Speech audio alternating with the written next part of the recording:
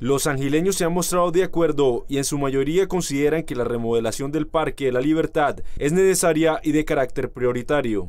Generalmente uno lo que quiere mostrar de la casa es la sala y yo creo que esta es la sala de, San Gil. Entonces yo sí estoy en acuerdo que se haga, que se haga una, bonita inversión y, en realidad el parque será más amañador estar uno acá. En sí lo que tengo entendido es que es un proyecto de ornamentación que va a contribuir a mejorar la estética del parque, lo cual considero pertinente y el hecho de que, el hecho de que se haga esto no es óbice para que se hagan otras inversiones en otro tipo de cosas como son educación, vivienda y cuestiones y programas de interés social. En el caso del Parque de San Gil, si es una remodelación para, su, para la ampliación de su comodidad, de la gente de acá mismo de San Gil o los visitantes, pues bienvenidos esos recursos.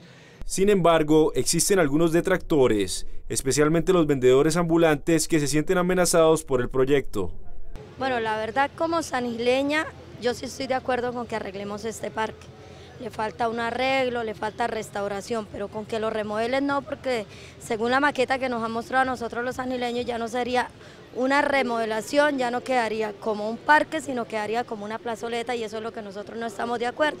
Dentro de las adecuaciones, se pintarán las fachadas de las casas contiguas al parque principal, además serán modificadas las bahías para parqueaderos y se restaurará el frente de la catedral principal. También las zonas verdes serán reducidas para dar espacio a bahías peatonales.